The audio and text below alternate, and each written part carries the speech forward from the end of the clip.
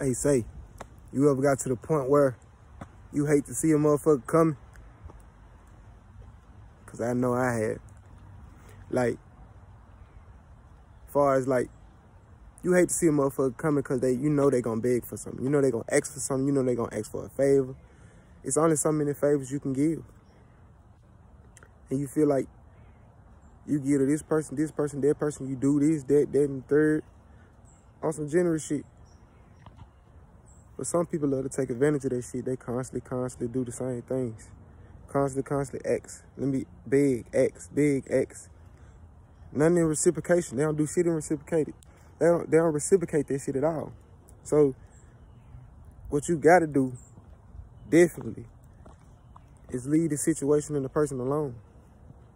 Because it ain't gonna get no better. And the reason why it ain't gonna get no better, they're gonna think they can take that shit for granted and take that shit to your advantage and use you as a pawn like a fool. So you gotta set that shit to the side. You hear me? And start looking out for self.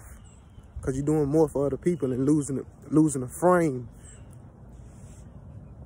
in self. You can do for people.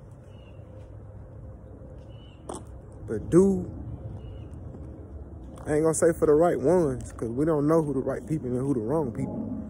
But know who to know know know what to do it, when what when to do it, what place to do it, what situation, you know what I'm saying? So you don't feel like you being used in certain situations. That's the biggest fix. Not for shit show.